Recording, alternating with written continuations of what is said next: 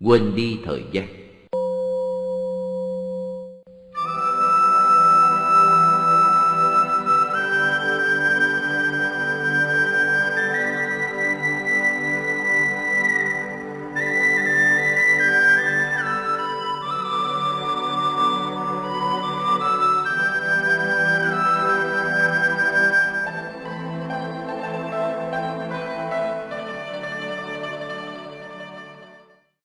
Thường có khuynh hướng làm cho việc hành thiền trở nên phức tạp và rối rắm. Chẳng hạn, khi ngồi xuống, chúng ta quyết định, lần này phải thành công mới được. Đó không phải là một việc làm đúng, vì không có gì có thể hoàn tới một cách vội vã được. Đó là một dính mắt mà các thiền sinh mới thường gặp phải. Nhiều đêm, khi bắt đầu ngồi thiền, ta thường có ý nghĩ, tối nay nhất định không ngủ trước một giờ sáng. Nhưng chẳng bao lâu sau đó tâm ta bắt đầu phản kháng và dấy loạn cho đến lúc ta có cảm tưởng rằng mình sắp chết đến nơi. Khi ngồi thiền đúng thì không cần đo lường hay thúc buộc gì cả. Không có đích, không có mục tiêu để đạt tới. Dù bạn có ngồi từ sáng sớm đến 7-8 giờ tối cũng không thành vấn đề. Chỉ cần ngồi mà không để ý đến thời gian. Đừng tự thúc bách mình, đừng ép buộc mình, đừng đòi hỏi tâm mình phải làm một điều gì có tính cách chắc chắn cố định. Hãy để tâm thoải mái, để hơi thở tự nhiên bình thường. Đừng ép hơi thở dài hay ngắn theo ý mình. Hãy để cơ thể thoải mái. Thực tập đều đặn liên tục, lòng tham muốn sẽ hỏi bạn, ta sẽ ngồi đến lúc nào đây? Ta sẽ ngồi bao lâu đây? Hãy quát lại nó, thầm thôi nhé. Này, đừng quấy rầy ta. Phải đàn áp nó vì đó là phiền não đến quấy rầy bạn. Hãy nói, ta muốn ngồi bao lâu thì ta ngồi, ta muốn ngưng ngồi thiền lúc nào thì ngưng. Chẳng có gì sai lầm cả. Nếu ta ngồi suốt đêm, ta làm hại ai đây? Tại sao ngươi đến quấy rầy ta? Hãy cắt đứt lòng ham muốn và tiếp tục ngồi theo ý bạn. Để tâm thoải mái tự nhiên, bạn sẽ đạt được bình an tĩnh lặng, thoát khỏi sức mạnh của tham ái. Có một thiền sinh ngồi trước lư hương và nguyện đến lúc cây nhang tàn mới đứng dậy. Thế là anh ta cứ nhấp nhổm theo dõi xem hương đã tàn đến đâu. Tàn hết chưa? Mới có nửa cây à? Anh ta nghĩ. Có khi anh ta nguyện sẽ ngồi cho đến lúc hương tàn, dầu có chết cũng không đứng dậy. Anh ta sẽ cảm thấy tội lỗi khủng khiếp nếu phải đứng dậy khi chưa hết giờ quy định. Ngồi thiền như thế là đã bị tham ái kiểm soát. Đừng để ý đến thời gian. Hãy duy trì việc thực hành của mình một cách đều đặn và để sự tiến bộ đến dần với bạn. Khỏi cần phải nguyện hay thề gì cả. Chỉ cần kiên trì, cố gắng thực hành để tâm tự nó bình an tĩnh lặng lấy. Cuối cùng, bạn sẽ thấy mình có thể ngồi lâu một cách thoải mái. Đó là bạn đã hành thiền đúng cách. Lúc đau nơi chân, bạn chỉ cần quan sát và biết sự đau. Bạn sẽ thấy cơn đau tự biến mất mà không cần đến sự giúp đỡ của bạn. Thực hành theo cách này, bạn sẽ thấy có nhiều thay đổi diễn ra trong bạn. Khi đi ngủ, bạn có thể tập cho tâm mình tĩnh lặng trước khi ngủ. Nếu trước đây bạn hay ngáy, hay mơ, nghiến răng, trăn trở vân vân, một khi tâm được huấn luyện thì mọi tật xấu trên sẽ biến mất Dầu cho bạn có ngủ sai đến đâu, lúc thức giấc, bạn cũng tỉnh táo, không bần thần quỷ quải Cơ thể an nghỉ nhưng tâm tỉnh thức suốt ngày đêm. Đó là Phật, là kẻ hiểu biết, tỉnh thức, hạnh phúc sáng suốt. Phật không bao giờ ngủ, nhưng không bao giờ cảm thấy quể quải thẫn thờ. Nếu bạn làm cho tâm trí mình kiên định như thế trong lúc hành thiền, bạn có thể thức liền hai ba hôm. Và khi buồn ngủ, vẫn có thể nhập định trong vòng 5-10 phút là tỉnh dậy một cách tươi tắn như người đã ngủ trọn đêm. Ở mức độ này, bạn không cần phải nghĩ đến thân thể mình nữa. Mặc dầu với tình thương và sự hiểu biết, bạn vẫn còn thấy thân thể này cần thiết. dài gợi ý trong việc hành thiền Trong khi thực hành có thể có nhiều hình ảnh và ảo tưởng sẽ hiện ra trong tâm bạn bạn sẽ thấy những hình ảnh hấp dẫn, sẽ nghe những âm thanh khuấy động. Những loại như thế đều phải quan sát. Loại hình ảnh trong thiền minh sát này có thể có nhiều năng lực hơn những hình ảnh trong thiền định đơn thuần. Những gì hiện lên đều phải quan sát và chỉ quan sát thôi. Gần đây có một số người hỏi tôi Lúc tôi đang ngồi thiền Có nhiều hình ảnh hiện ra trong tâm tôi Tôi phải điều tra nghiên cứu chúng hay chỉ ghi nhận sự đến đi của chúng Tôi đã trả lời Khi bạn thấy một vài người nào đó đi ngang qua Nếu họ là người lạ Bạn sẽ tự hỏi Ai đấy? Họ đi đâu? Họ đang làm gì? Nếu họ là người quen Thì bạn chỉ cần ghi nhận rồi để họ đi qua tham muốn ao ước trong thực hành có thể là bạn hay kẻ thù. Thoạt đầu sự tham muốn, ao ước thúc đẩy hay khích lệ việc hành thiền. Chúng ta muốn thay đổi sự vật, muốn hiểu biết, muốn chấm dứt đau khổ. Nhưng nếu luôn luôn ao ước chuyện chưa xảy ra, muốn sự vật diễn ra hay có đặc tính mà chúng không thể có thì chỉ gây thêm đau khổ thôi. Một vài người hỏi, chúng tôi chỉ nên ăn khi đói chỉ nghĩ khi mệt như các thiền sư Zen đề nghị hay chúng tôi nên thí nghiệm bằng cách làm ngược lại nghĩa là ép mình trong khuôn khổ giờ giấc định sẵn. Và nếu như vậy thì phải ấn định giờ giấc ngủ nghỉ và số lượng thực phẩm như thế nào mới thích hợp. Dĩ nhiên phải thí nghiệm nhưng không thể nào ấn định số lượng nhiều ít được. Phải tự mình ấn định và tìm hiểu lấy. Lúc mới thực hành chúng ta chẳng khác nào đứa trẻ mới học viết những chữ cái. Chữ viết lên xuống nghiêng ngửa, dần dần ta sẽ giết ngay ngắn đàng hoàng. Cuộc sống của chúng ta cũng như vậy. Nếu chúng ta không sống như thế, chúng ta phải sống thế nào đây? Thực hành tốt đẹp là tự hỏi mình một cách thành thật. Tại sao ta sinh ra? Tự hỏi mình như thế ngày ba lần, sáng, trưa, tối. Ngày nào cũng tự hỏi như vậy. Đức Phật dạy Đại Đức Ananda phải nhìn thấy sự vô thường và sự chết trong mỗi hơi thở. Chúng ta phải biết cái chết, chúng ta phải chết để sống. Điều này có nghĩa như thế nào? Chết là chấm dứt tất cả mọi hoài nghi, mọi câu hỏi và chỉ sống với thực tế hiện tại. Không phải ngày mai bạn mới chết, bạn phải chết ngay trong hiện tại. Bạn có thể làm được điều đó không? À, tĩnh lặng làm sao sự bình an tĩnh lặng của chấm dứt hoài nghi tinh tấn thật sự là trạng thái của tâm, chứ không phải của thân. Có nhiều phương pháp định tâm khác nhau, cũng như có nhiều cách sống trên cõi đời này. Điều quan trọng là bạn phải tự ăn lấy, chứ không phải cách thức tìm kiếm thức ăn. Thực ra, khi tâm thoát khỏi tham ái, tâm định sẽ khởi lên một cách tự nhiên, chứ chẳng cần một điều kiện nào nữa. Ma túy có thể mang lại những cảm giác đáng lưu ý. Nhưng người dùng ma túy không tạo ra nguyên nhân của hiệu quả này. Họ chỉ tạm thời biến đổi bản chất.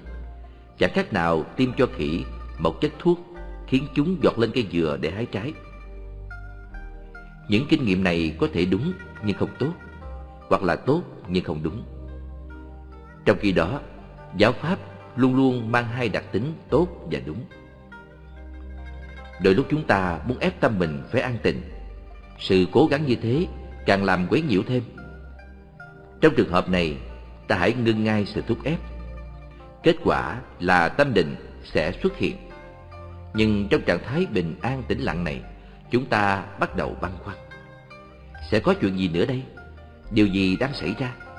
Và chúng ta lại dao động trở lại Một ngày trước kỳ kết tập tam tạng lần thứ nhất một vị sư đến nói với ngài Ananda. Ngày mai là ngày kết tập tam tạng, những gì tham dự đều hoàn toàn đắc đạo. Lúc bấy giờ Ananda chỉ mới đạt quả thánh đầu tiên, nên ngài quyết định dốc toàn lực hành thiền suốt đêm để đạt thành quả cuối cùng. Nhưng sự cố gắng quá sức này đã làm Ananda mệt mỏi, không đạt được chút tiến bộ nào do nỗ lực của mình. Ananda quyết định đi nghỉ một lát. Nhưng trong khi đặt mình xuống nghỉ, đầu chưa chạm gối, Ananda đã đắc đạo. Tóm lại, chúng ta phải học cách loại bỏ tham ái, dầu đó là ý muốn đắc đạo mới giải thoát được. Quán chiếu mọi vật Khi bạn tiếp tục hành thiền, bạn phải quan sát cẩn thận mọi kinh nghiệm, mọi giác quan của mình. Chẳng hạn khi quan sát đối tượng giác quan như tiếng động, sự nghe. Sự nghe của bạn là một chuyện và âm thanh là một chuyện khác. Bạn chỉ cần tỉnh thức là đủ. Ngoài ra, chẳng có ai hay vật gì cả. Hãy học cách chú ý một cách thận trọng, quan sát để tìm ra chân lý một cách tự nhiên như vậy, bạn sẽ thấy rõ cách thức sự vật phân ly. Khi tâm không bám víu hay nắm giữ sự vật một cách bất di bất dịch theo ý riêng của mình, không nhiễm một cái gì, sự vật sẽ trở nên trong sáng rõ ràng.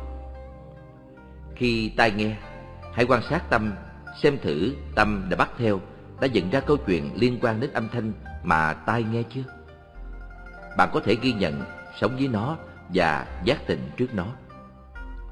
Có lúc bạn muốn thoát khỏi sự chi phối của âm thanh, nhưng đó không phải là phương thức để tránh thoát. Bạn phải dùng sự tỉnh thức để thoát khỏi sự chi phối của âm thanh. Chúng ta không thể kỳ vọng đạt được bình an tĩnh lặng, tức khắc, ngay khi hành thiền. Hãy để cho tâm yên nghỉ, để tâm làm theo ý nó muốn. Chỉ cần quan sát mà đừng phản ứng gì cả.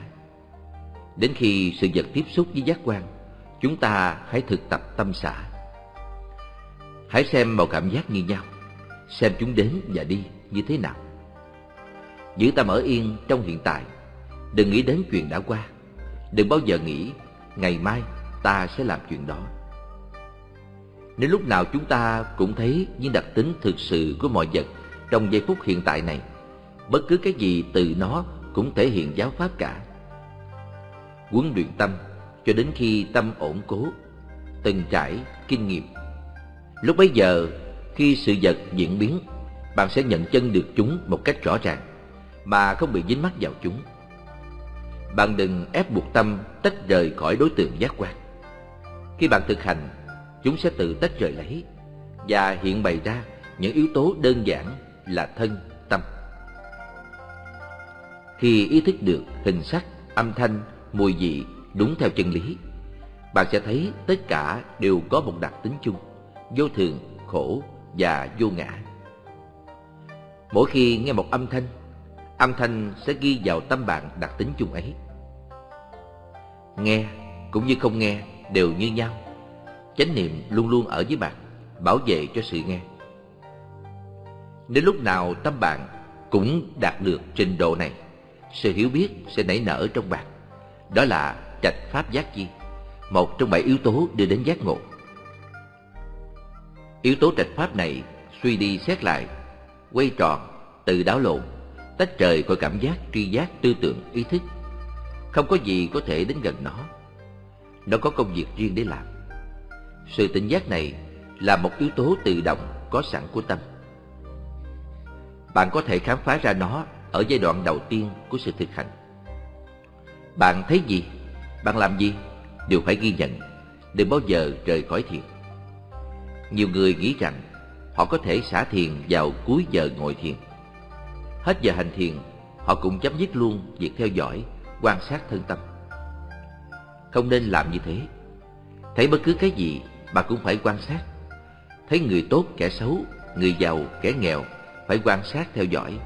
Thấy người già, người trẻ, người lớn, người nhỏ đều phải quan sát. Đó là cốt tủy của việc hành thiền.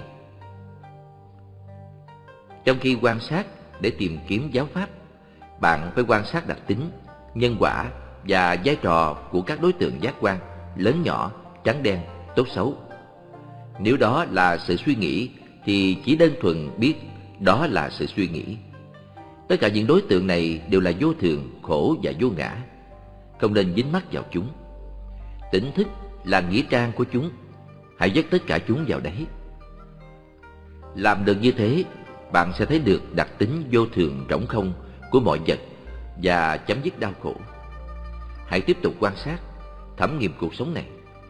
Khi gặp một điều tốt đẹp, hãy ghi nhận xem tâm bạn lúc ấy thế nào. Bạn vui chăng? Nên quan sát sự vui này. Dùng vật gì độ một thời gian, bạn bắt đầu thấy chán, muốn cho hay bán đi. Nếu không ai mua, bạn sẽ dứt bỏ. Tại sao vậy? cuộc sống của chúng ta luôn luôn biến đổi không ngừng. Bạn hãy nhìn vào chân lý này.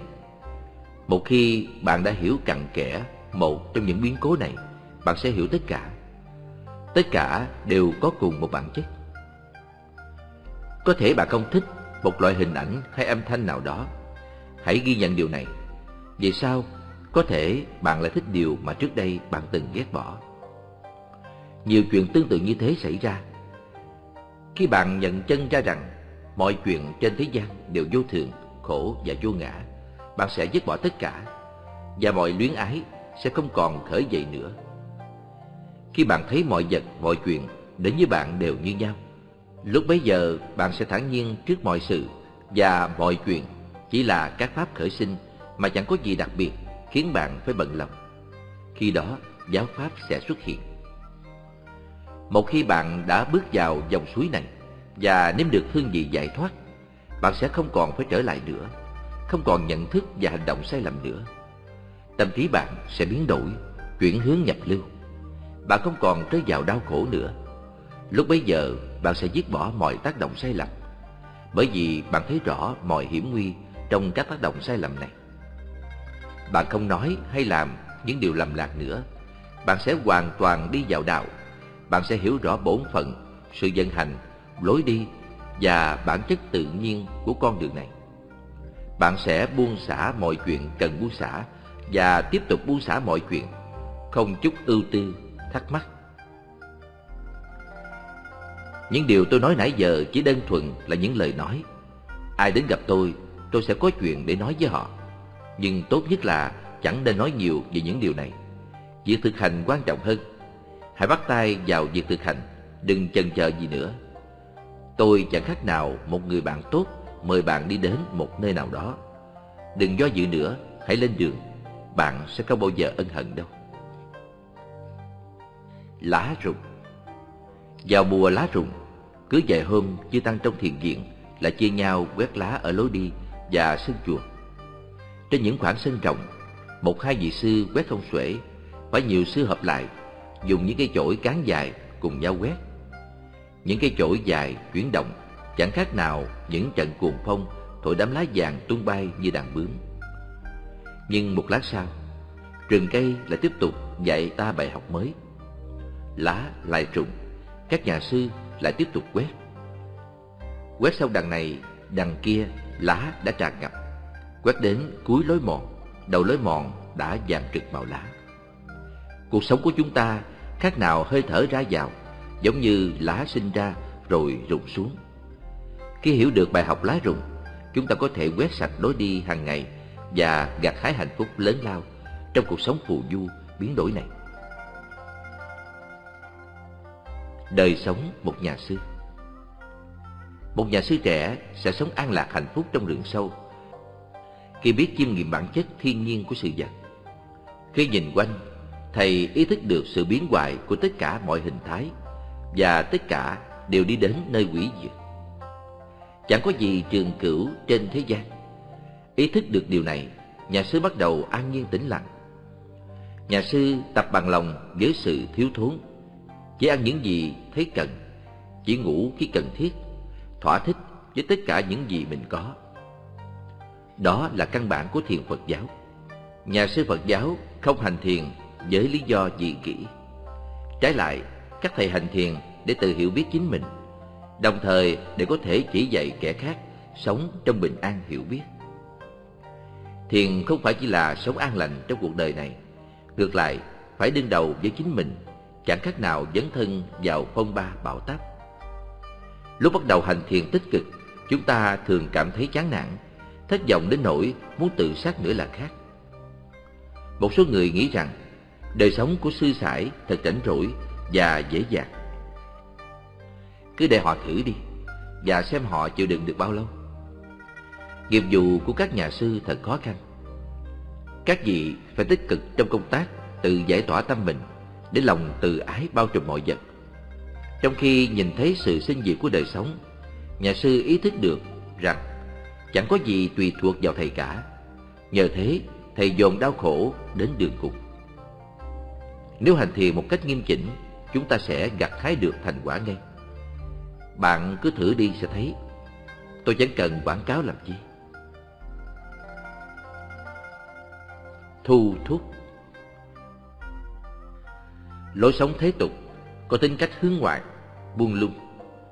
Lối sống của nhà tu bình dị và tiết chế. Nhà sư có lối sống khác hẳn kẻ thế tục. Từ bỏ thói quen ăn ngủ và nói ít lại. Nếu làm biến, phải tinh tấn thêm. Nếu cảm thấy khó chịu đựng, phải kiên nhẫn thêm. Nếu cảm thấy yêu chuộng và dính mắt vào thân xác, phải nhìn những khía cạnh bất tịnh của cơ thể mình. Nhiều người cho rằng đối kháng lại dục vọng tham ái là một điều khó khăn. Chúng ta hãy nương theo nó và bỏ dần. Đây là một phương pháp chậm chạp nhưng có hiệu quả. Tôi không đồng ý như thế.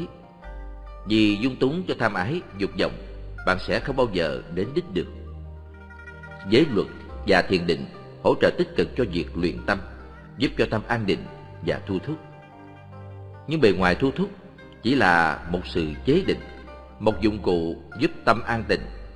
Bởi vì dù bạn có cúi đầu nhìn xuống đất đi nữa, tâm bạn vẫn có thể bị chi phối bởi những vật ở trong tầm mắt bạn. Có thể bạn cảm thấy cuộc sống khó khăn và bạn không thể làm gì được. Nhưng càng hiểu rõ chân lý của sự vật, bạn càng được khích lệ hơn. Giả sử trên đường về nhà, bạn dẫm phải gai, gai đâm sâu vào chân bạn.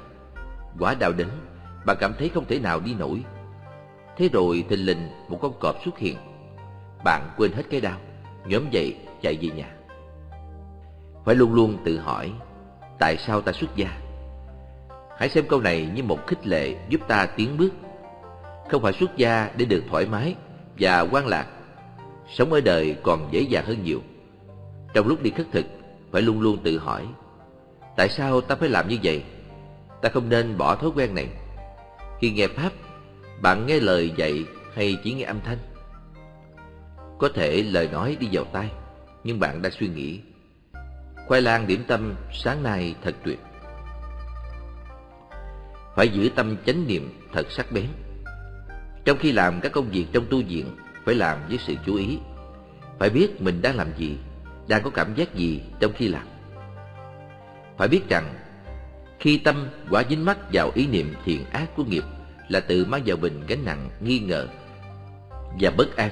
Vì luôn luôn e sợ, không biết hành động của mình có sai lầm, có tạo nên nghiệp ác không? Đó là một sự dính mắc cần tránh. Quá dính mắc vào điều này, làm bạn trở nên e dè, sợ hãi mỗi khi làm công việc gì. Chẳng hạn, lúc quét nhà, bạn lo sợ sẽ làm kiến chết. Trong khi đi bạn lo sợ sẽ làm hại cây cỏ.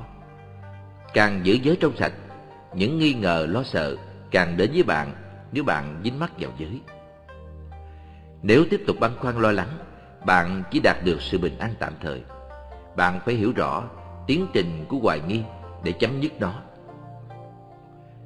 Trong lúc tụng kinh, chúng ta thường nói rằng chúng ta là những kẻ phụng sự Đức Phật. Phụng sự có nghĩa là hoàn toàn đặt mình dưới quyền điều khiển và sử dụng của ông chủ. Và ông chủ sẽ ban cho ta mọi nhu cầu, thức ăn, quần áo, chỗ ở, lời hướng dẫn, vân vân. Chúng ta, những kẻ mặc áo thừa kế của Đức Phật, phải hiểu rằng mọi nhu yếu chúng ta nhận được từ thiền tính nhờ đức hạnh của Đức Phật chứ không phải ở phước báo riêng của chúng ta. Chúng ta phải biết tri túc trong vật dụng, thức ăn, y phục, chỗ ở, thuốc men. Chẳng cần phải mặc y thật tốt, y chỉ cốt đủ che thân. Chẳng cần phải có thức ăn thật ngon, thực phẩm chỉ để nuôi mạng sống. Đi trên đường đạo là đối kháng lại mọi phiền não và ham muốn thông thường. Một nhà sư lúc đi khất thực, nếu thấy lòng tham muốn nói, cho tôi nhiều. Ngài sẽ nói, cho tôi ít. Nếu phiền não nói, cho tôi mau mau. Hạnh thu thúc sẽ nói, cho tôi chậm chậm. Nếu tham ái muốn thức ăn nóng và mềm, hạnh thu thúc sẽ yêu cầu nó lạnh và cứng. Trong mọi hành động của chúng ta, mặc y đi bát đều phải làm trong chánh niệm. Giáo pháp và giới luật Đức Phật ban cho chúng ta chẳng khác nào một vườn cây trái ngon ngọt. Chúng ta khỏi bận tâm về việc gieo trồng và săn sóc. Chúng ta cũng khỏi phải lo sợ gặp phải trái cây độc hay không thích hợp tất cả đều có lợi ích và tốt đẹp cho ta. Một khi đạt được sự mát mẻ bên trong, bạn không nên dứt bỏ nếp sống tu viện này. Bạn hãy làm khuôn mẫu cho những kẻ đến sau. Đó là thái độ của những nhà sư giác ngộ. Thiền minh sát thực dụng Hòa thượng Mahasi Tỳ cưu Khánh Hỷ Agasami Trần Minh Tài dịch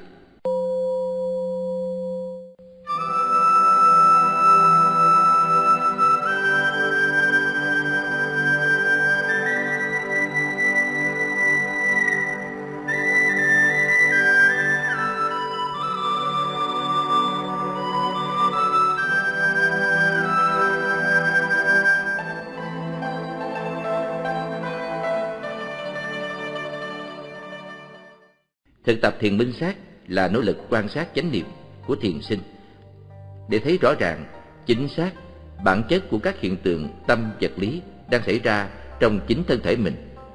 Hiện tượng vật lý là những vật hay đối tượng mà thiền sinh thấy rõ ràng xung quanh họ. Toàn cơ thể của thiền sinh mà thiền sinh có thể nhận ra một cách rõ ràng là tập hợp của một nhóm vật chất Rupa.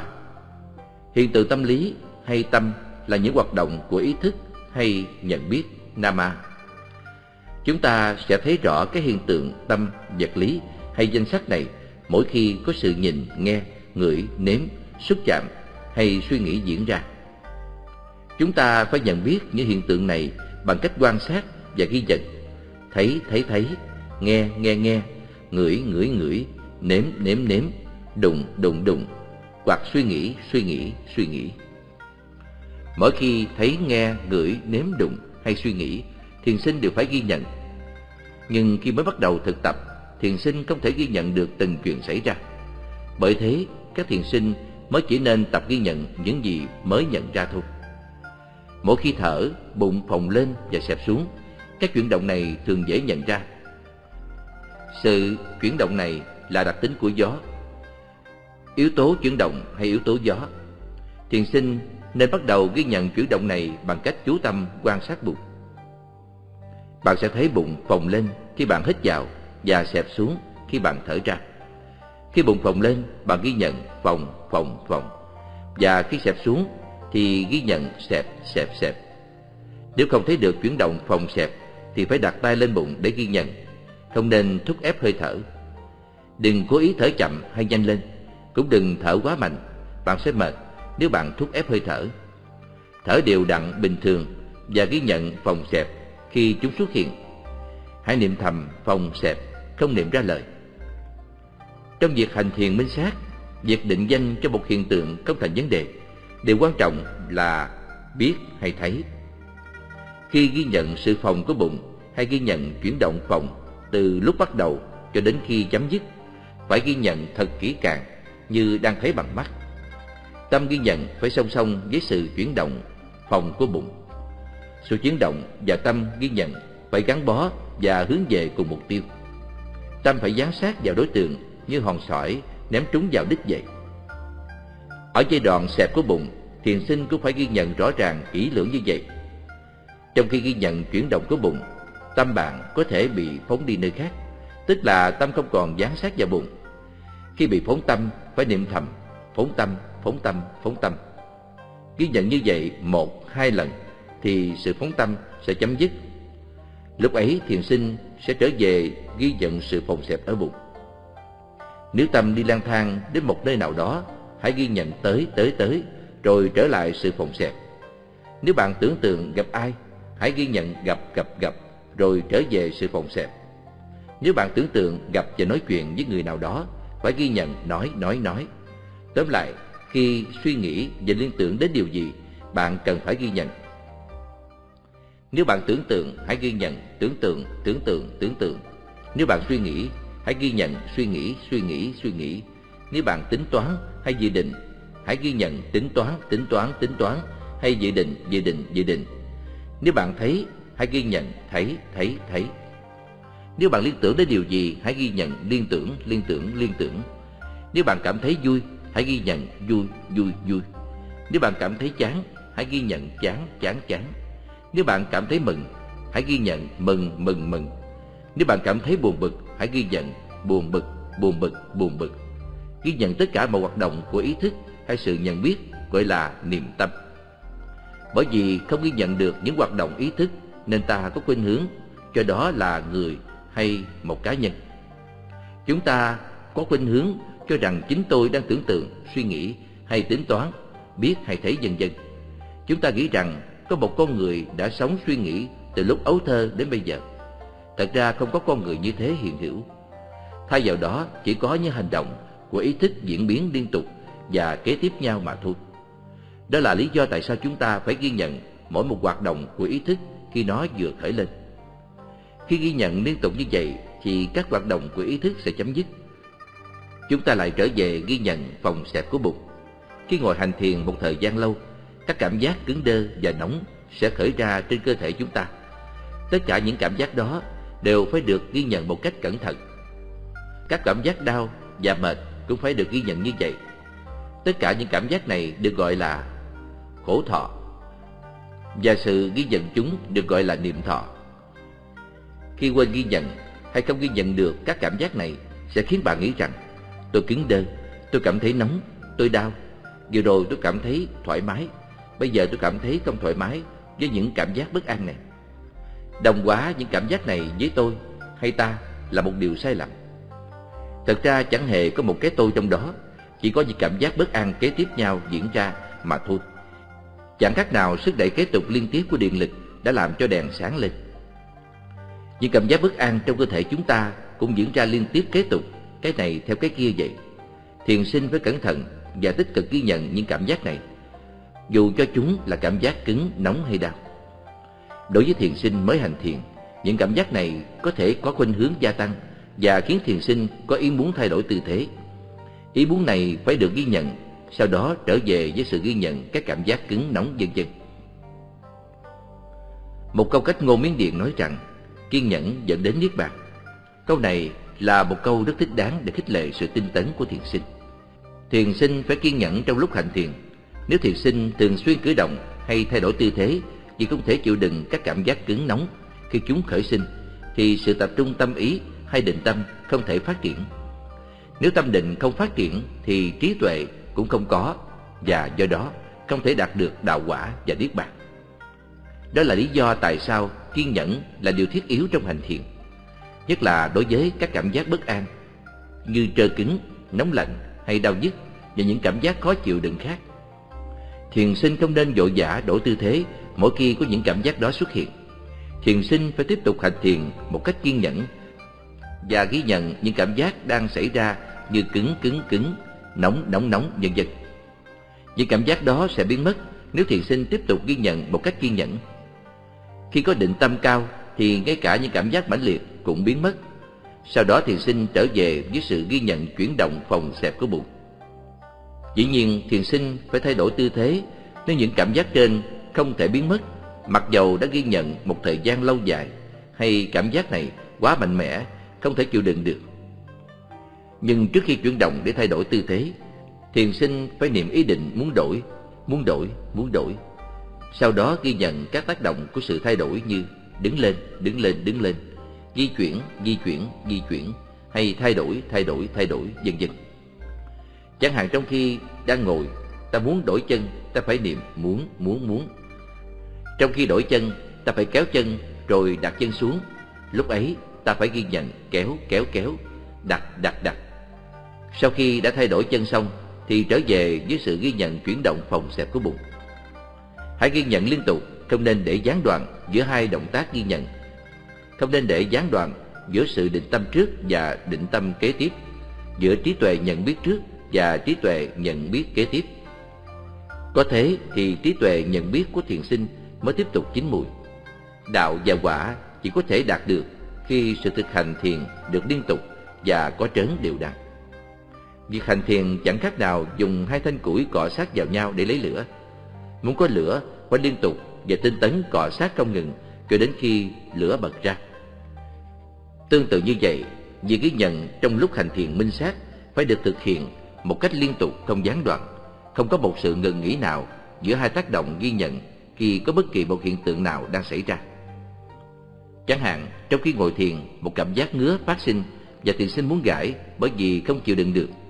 Trong trường hợp này, thiền sinh phải ghi nhận cảm giác ngứa và ý muốn hết ngứa hay ý muốn gãi. Chứ đừng vội vã đưa tay ra gãi ngay khi có ý muốn hết ngứa. Nếu tiếp tục kiên trì ghi nhận như thế thì sự ngứa sẽ biến mất. Khi sự ngứa biến mất, thiền sinh phải trở về ghi nhận phòng xẹp ở bụng. Nếu đã có sự ghi nhận ngứa ngứa ngứa mà cảm giác ngứa không biến mất thì thiền sinh sẽ lại có ý muốn gãi. Tất cả mọi tác động bao gồm trong tiến trình gãi phải được ghi nhận như tay đụng vào chỗ ngứa, đẩy lui để tới để gãi, cuối cùng trở về với sự phòng xẹp của bụng. Mỗi khi thay đổi tư thế, bạn phải ghi nhận ý định hay ý muốn thay đổi trước rồi tiếp tục ghi nhận các tác động thay đổi một cách kỹ lưỡng. Chẳng hạn như khi đứng dậy từ tư thế ngồi hay đưa tay lên hoặc chuyển động và duỗi tay ra. Tất cả mọi chi tiết bên trong sự thay đổi chuyển động tư thế đều phải được ghi nhận cẩn thận. Trong lúc đứng dậy, từ tư thế ngồi thì thân bạn nghiêng về phía trước, ghi nhận điều này. Khi đứng dậy, cơ thể bắt đầu nhẹ và từ từ đứng lên, phải ghi nhận tất cả các điều này. Nghiêng, nghiêng, nghiêng, đứng dậy, đứng dậy, đứng dậy, nhẹ, nhẹ, nhẹ, vân vân. Thiền sinh phải có thái độ như là một người yếu đuối thiếu năng lực. Người có sức khỏe bình thường, mỗi lần đứng dậy họ đứng rất nhanh. Đối với những người yếu đuối thiếu năng lực, họ đứng dậy một cách chậm chạp, nhẹ nhàng. Cũng như người bị đau lưng, họ phải đứng dậy một cách chậm rãi, nhẹ nhàng để khỏi đau. Thiền sinh cũng phải có thái độ như vậy, phải có thái độ như vậy, phải thay đổi tư thế một cách từ từ nhẹ nhàng. Có như thế, chánh định và trí tuệ mới phát triển tốt đẹp. Bởi vậy, hãy làm mọi tác động một cách nhẹ nhàng như người không có năng lực, đồng thời ghi nhận hay niệm đứng dậy, đứng dậy, đứng dậy. Mặc dầu có mắt, thiền sinh phải làm như mù, có tai phải làm như điếc. Trong khi hành thiền, thiền sinh phải chú tâm ghi nhận mà thôi. Điều quan tâm duy nhất của thiền sinh chỉ là ghi nhận.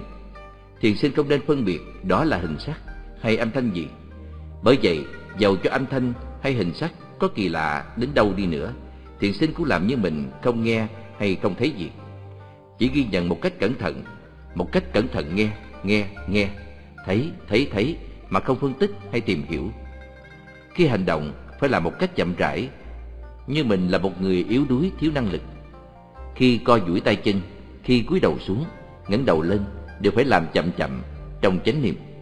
Khi đang ngồi muốn đứng dậy, phải đứng dậy từ từ và ghi nhận hay niệm đứng dậy, đứng dậy, đứng dậy. Khi đã đứng dậy xong, ghi nhận đứng, đứng, đứng. Khi nhìn đây đó, hãy ghi nhận nhìn, nhìn, nhìn, hay thấy, thấy, thấy. Khi đi, hãy ghi nhận các bước đi. Khi đi nhanh thì chú tâm vào chân trái phải. Khi đi chậm, hãy ghi nhận hai giai đoạn dở đạp. Chú ý ghi nhận cảm giác của chân khi dở lên và khi đạp xuống. Nếu đi chậm hơn, hãy ghi nhận ba giai đoạn dở, bước, đạp. Phải ghi nhận các cảm giác của từng giai đoạn. Đối với các thiền sinh mới, chỉ cần ghi nhận trái, phải hay dở, đạp là đủ. Trong khi đang đi, nếu bạn muốn ngồi xuống, hãy niệm muốn ngồi, muốn ngồi, muốn ngồi. Khi đang ngồi xuống, hãy chú tâm ghi nhận cảm giác nặng đang trì xuống cơ thể. Khi đang ngồi xuống, hãy ghi nhận các cảm giác đang diễn ra như xếp chân, sự để tay lên đùi, hay sự xếp hai tay vào nhau, vân vân. Khi đang ngồi yên, hãy chú tâm vào chuyển động phòng xẹp của bụng. Trong khi theo dõi ghi nhận chuyển động của bụng, nếu tay hay chân có cảm giác cứng đơ hoặc một phần nào trên cơ thể cảm thấy nóng mà sự cứng đơ hay nóng này quá rõ rệt, lấn át hẳn sự phòng xẹp, thì hãy ghi nhận cứng đơ, cứng đơ, cứng đơ, nóng, nóng, nóng, rồi trở về với sự phòng xẹp của bụng. Trong khi đang ngồi thiền mà ý muốn nằm xuống khởi lên, hãy ghi nhận ý muốn này. Sau đó ghi nhận các chuyển động liên quan đến sự nằm xuống như chống tay, nghiêng mình, duỗi chân, đặt đầu xuống vân vân. Ghi nhận các động tác của cơ thể khi nằm xuống rất quan trọng. Bạn có thể giác ngộ trong khi đang chánh niệm, ghi nhận các tác động này. Khi định và tuệ phát triển mạnh mẽ thì đạo quả có thể đến bất kỳ lúc nào. Giác ngộ có thể đến khi bạn duỗi tay ra hay đang co tay vào. Đó là trường hợp giác ngộ đạo quả A-la-hán của Ngài Ananda. Trước Ngài kết tập tam tạng lần đầu tiên, Ngài Ananda đã nỗ lực tinh tấn thiền suốt đêm nhằm mục đích đạt đạo quả a la hán ngài tinh tấn chú tâm theo dõi bước đi trái phải dở đạp bước đạp ý muốn đi và những chuyển động bao gồm trong sự đi. Mặc dầu nỗ lực không thối chuyển, nhưng mãi cho đến gần sáng. Ngài vẫn chưa thành đạt đạo quả a la hán nhận thấy rằng mình đã kinh hành quá nhiều khiến cho định và tinh tấn không cân bằng. Ngài thấy cần phải nằm thiền một lúc nên quyết định vào phòng. Ngài ngồi trên giường và nghiêng mình nằm xuống. Với tâm chánh niệm ghi nhận nằm nằm nằm. Lúc đầu chưa chạm gối, ngài đắc quả a la hán lúc chưa nằm xuống, ngài ananda chỉ mới đắc quả tu đà hường còn gọi là nhập lưu. nhưng khi nghiêng mình nằm xuống, ngài liên tiếp trong chớp mắt đắc kết quả kế tiếp là tư đà hàm, nhất lai, a la hàm, bất lai và a la hàm. Qua sự giác ngộ đạo quả của ngài ananda, chúng ta thấy rằng đạo quả có thể đến bất kỳ lúc nào, không cần đòi hỏi thời gian lâu dài. Đó là lý do tại sao thiền sinh phải luôn luôn tích cực ghi nhận.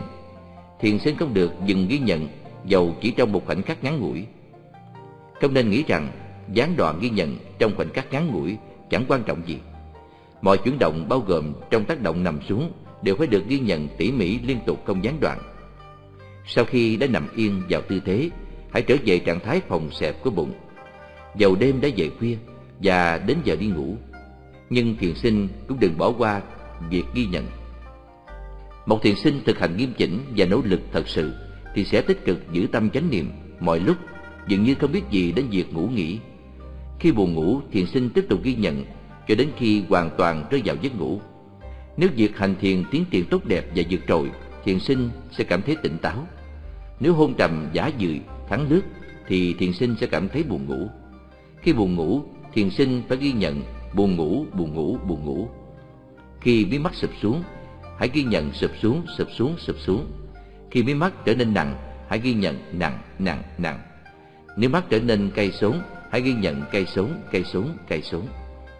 Nếu ghi nhận mọi tác động một cách chánh niệm, thì sự buồn ngủ sẽ biến mất và thiền sinh sẽ tư tỉnh trở lại. Khi đã tư tỉnh và sáng mắt trở lại, thiền sinh phải ghi nhận tư tỉnh tư tỉnh tư tỉnh hay sáng sáng sáng, rồi trở về sự xẹp phòng của bụng. Thiền sinh phải lại kiên trì tiếp tục hành thiền cuối cùng khi buồn ngủ thắng thế thì thiền sinh sẽ rơi vào giấc ngủ. Khi hành thiền ở tư thế nằm, bạn sẽ rất dễ buồn ngủ. Bởi vậy, đối với những thiền sinh mới, không nên hành thiền ở tư thế nằm mà phải ngồi và kinh hành nhiều hơn. Những lúc đến giờ đi ngủ, thiền sinh nên hành thiền ở tư thế nằm, ghi nhận những chuyển động phòng xẹp của bụng cho đến khi nào rơi vào giấc ngủ một cách tự nhiên. Thời gian ngủ là khoảng thời gian nghỉ ngơi cho thiền sinh nhưng đối với thiền sinh tích cực tinh tấn thì nên giới hạn giờ ngủ khoảng 4 tiếng mỗi đêm. Đó là ngủ vào khoảng canh 2, tức là 10 giờ tối đến 2 giờ sáng như Đức Phật đã cho phép. Ngủ 4 tiếng là vừa đủ. Đối với những thiền sinh mới nếu thấy ngủ 4 tiếng không đủ cho sức khỏe thì có thể ngủ 5 đến 6 tiếng. 6 tiếng là quá đủ cho sức khỏe. Khi thức dậy thiền sinh phải lập tức trở về với sự ghi nhận. Một thiền sinh thật sự muốn nỗ lực hành thiền để đạt đạo quả thì chỉ ngừng hành thiền trong khi ngủ mà thôi. Trong thời gian thức, họ liên tục chánh niệm không ngừng nghỉ. Bởi vậy, khi vừa thức giấc, thiền sinh phải ghi nhận ngay sự thức dậy của tâm. Thức dậy thức dậy thức dậy.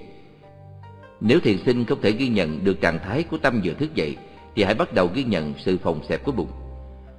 Nếu thiền sinh có ý định ngồi dậy và bước xuống đất, thì hãy ghi nhận muốn ngồi dậy, muốn ngồi dậy, muốn ngồi dậy tiếp theo, hãy ghi nhận tất cả các việc có liên quan đến sự ngồi dậy, như chống tay, co chân, nhổm dậy, ngồi, vân vân.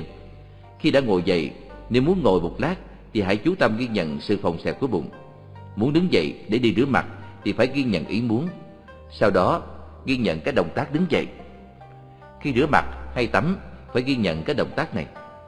Vì các động tác rửa mặt hay tắm là những động tác hơi nhanh nên không thể ghi nhận được hết. Bởi vậy hãy cố gắng ghi nhận càng nhiều càng tốt. Lúc chạy đầu mặc áo quần mở cửa đóng cửa vân vân đều phải ghi nhận kỹ càng. Lúc đến giờ ăn tiền sinh vào bàn phải ghi nhận thấy thấy thấy hay nhìn nhìn nhìn. Khi đưa tay ra đụng thức ăn lấy thức ăn rút tay về đưa tay vào miệng vân vân tất cả những động tác ấy đều phải được ghi nhận. Nếu bạn dùng đũa hay muỗng để lấy thức ăn thì phải ghi nhận mọi động tác liên quan đến sự gấp hay múc thức ăn như gấp gấp gấp, múc múc múc. Khi nhai thức ăn phải ghi nhận nhai nhai nhai. Khi nhận biết được gì của thức ăn, ghi nhận biết biết biết. Khi nuốt thức ăn vào cổ vân vân, tất cả đều phải được ghi nhận. Đó là cách và thiền sinh ghi nhận trong khi đưa từ bộ thức ăn vào miệng. Khi thiền sinh muốn dùng muỗng canh thì tất cả các động tác bao gồm như đưa tay ra, cầm muỗng, bút canh vân vân đều phải được ghi nhận. Việc ghi nhận trong khi ăn hơi khó khăn bởi vì có rất nhiều điều phải quan sát ghi nhận. Thiền sinh mới thường hay bỏ sót một số động tác cần phải ghi nhận. Nhưng càng về sau, khi có tâm định mạnh mẽ, thiền sinh phải ghi nhận được tất cả các động tác của sự ăn này. Đến đây thiền sinh đã học được nhiều cách ghi nhận. Nhưng tóm tắt lại, chỉ có vài điều cần nhớ sao Khi đi nhanh, hãy ghi nhận trái, phải. Khi đi chậm, hãy ghi nhận dở đạp. Nếu chậm hơn, ghi nhận dở bước đạp. Khi đã ngồi xuống, hãy chú tâm vào sự phòng xẹp của bụng. Khi nằm, cũng phải chú tâm vào bụng, nếu không có điều gì đặc biệt để ghi nhận. Trong khi quan sát ghi nhận, nếu bị phóng tâm hay ghi nhận phóng tâm rồi, trở về sự phòng xẹp của bụng. Tiền sinh cũng phải ghi nhận mọi cảm giác khởi lên như tê, cứng, đau, nhức, nóng, lạnh vân vân, rồi trở về với chuyển động của bụng. Trong các tác động khác như co duỗi tay, chân, cúi đầu, ngẩng đầu vân vân đều phải được ghi nhận rồi trở về đề mục chính. Nếu thiền sinh tiếp tục tinh tấn ghi nhận như thế thì về sau thiền sinh có thể ghi nhận được rất nhiều những diễn biến đang xảy ra. Lúc mới tập hành thiền, tâm thiền sinh thường dễ phóng đi đây đó. Thiền sinh thường quên và bỏ sót ghi nhận, nhưng không nên lấy làm chán nản vì mọi thiền sinh mới đều gặp các khó khăn tương tự như vậy. Hành thiền lâu hơn, thiền sinh sẽ ghi nhận được một cách dễ dàng mỗi khi có sự phóng tâm xảy ra. Cho đến cuối cùng, khi tâm không còn bị phóng nữa, lúc bấy giờ tâm sẽ dính chặt với đề mục ghi nhận. Tâm chánh niệm phải đi song song với đối tượng ghi nhận. Nói cách khác, tâm ghi nhận luôn luôn theo sát với đề mục, chẳng hạn như phòng xẹp và tâm ghi nhận sự phòng xẹp phải đi song song với nhau. Đối tượng vật chất để ghi nhận và tâm ghi nhận đối tượng đó là một cặp. Chẳng có một con người hay cá nhân nằm trong hai hiện tượng này. Chỉ có đối tượng vật chất ghi nhận và tâm ghi nhận hai đối tượng đó xảy ra mà thôi.